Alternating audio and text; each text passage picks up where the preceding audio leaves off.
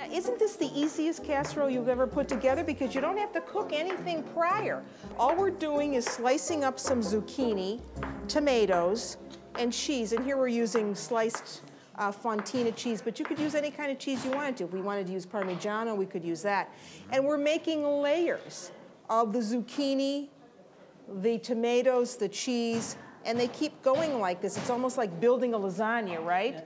Except we're doing it with vegetables. So this is going to be a wonderful casserole that you bake in the oven. And they're going to put a little surprise on top after they get done layering all of the vegetables, and I'll come back and we'll show you what that is. But you admire their handiwork because they're doing a great job.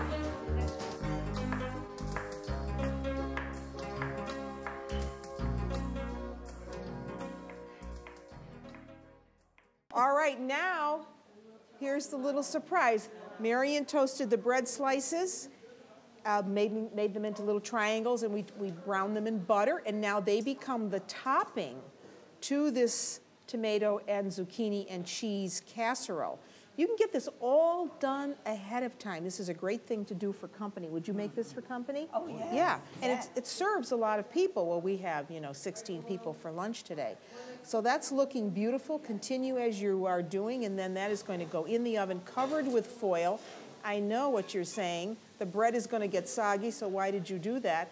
Well, we're going to uncover this midway through the cooking process and allow it to cook even further and the bread will continue to be nice and crusty.